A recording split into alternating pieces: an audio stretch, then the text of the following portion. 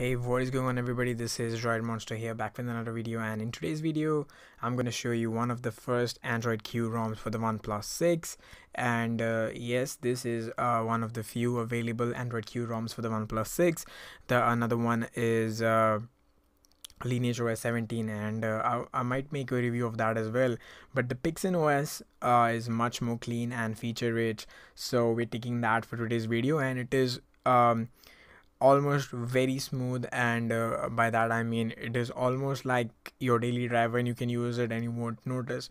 Now there are a couple of bugs under the hood like for example your uh, alert slider. Okay that was fixed i guess. Alert slider is fixed and uh, there is a bug with the fingerprint sensor um, that is that uh, if you reboot your phone you're not going to uh, use your fingerprint sensor unless you restart your system UI but the developer has included that in the power menu. You can easily uh, uh restart your system UI from there. Now uh, the ROM is pretty much well polished and everything uh, almost everything which you need works out of the box.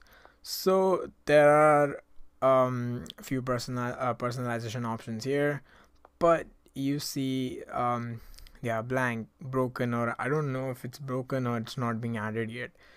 So uh, as you can see, currently we uh, we do not have much here.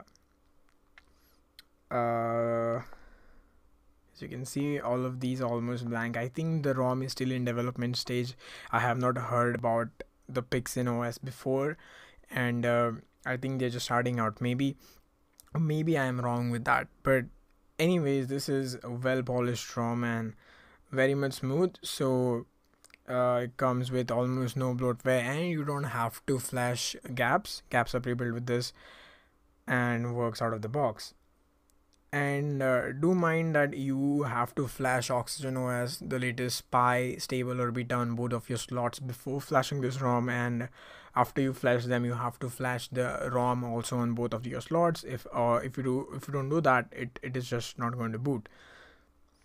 So yes that is all. This is the PiXeN OS for OnePlus 6 uh, if you want to try out or you need a dedicated installation guide or anything like that i'm going to leave all of the links in the description below so make sure you check them out from there. So yes that is it for me uh, that is it from me and i'll check you guys next time. Peace out